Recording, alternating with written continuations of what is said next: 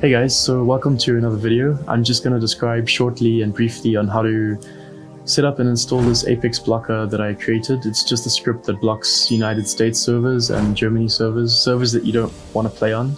Um, so this mainly applies to people in London or in the UK. Um, so yeah, I'll leave a link for this in the description, but yeah, you download the link, just uh, copy and paste this, open your browser, and then what you want to do is you want to download this file. So you just download it. Um, you can save it wherever you want. You can save it on your desktop. I've got it saved on my desktop. So here it is. You just extract this, um, this file. Once you've extracted it, you'll see two files. Now what you want to do is you just want to click on the bat file. So this bat file is just a small script. You can go through it. it has got nothing harmful or, or suspicious. It just runs this other script here. And you can just check out everything here. Basically, this uh, first line here, these are all the IPs that it blocks.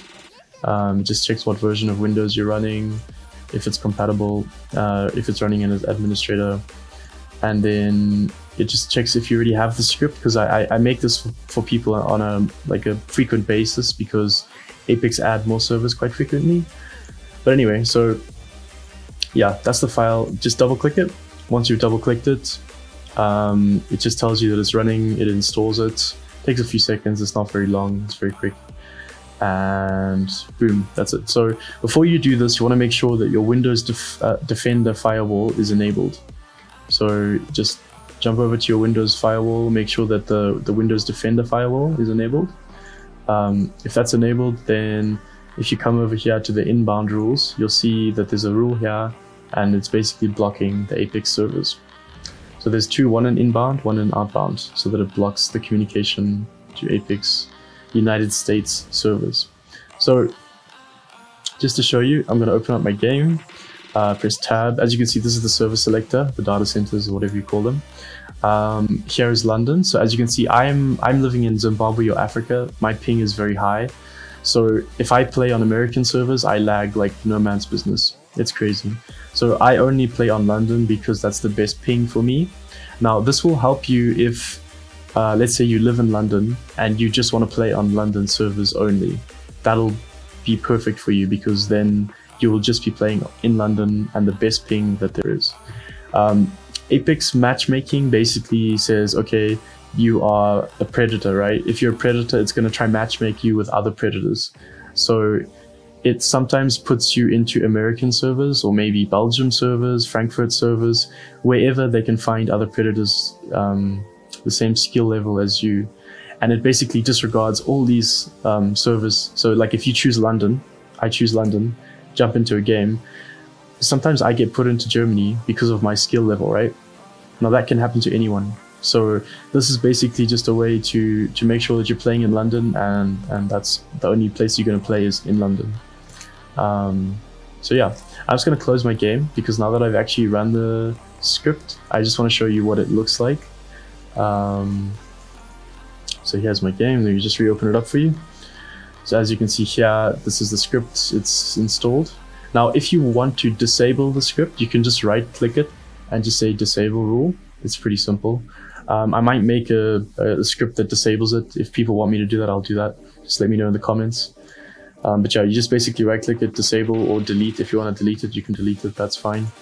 Um, yeah. But here we go. So game is loading up. I just want to show you what it does. Now, as you can see, when I press tab, it's only going to show London.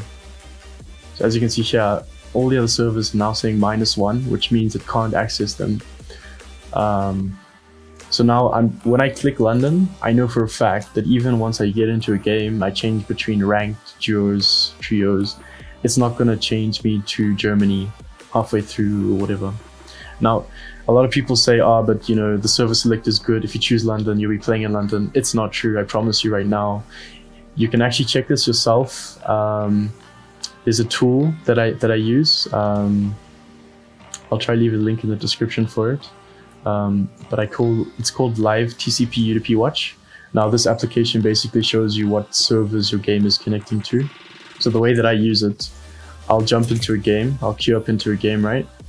Um, and the minute it hits the loading screen, I just alt tab and I check which IP the game. You see this process R5 Apex, that's Apex Legends.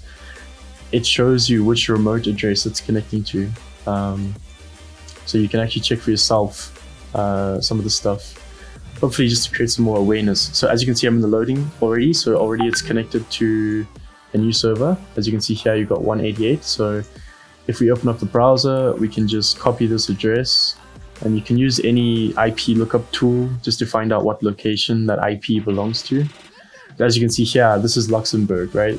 So that IP that I just got from, from the software is showing me that it's in London, which is good. Luxembourg is in London, as you can see here.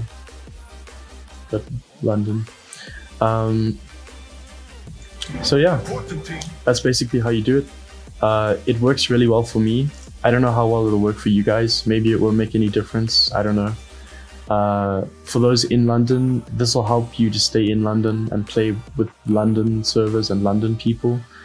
It'll basically just eliminate any cause of lag uh, because the matchmaking sometimes puts you in Germany.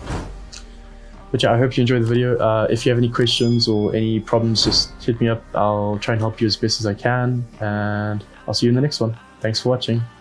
Cheers, guys. To breathe, but that's alright.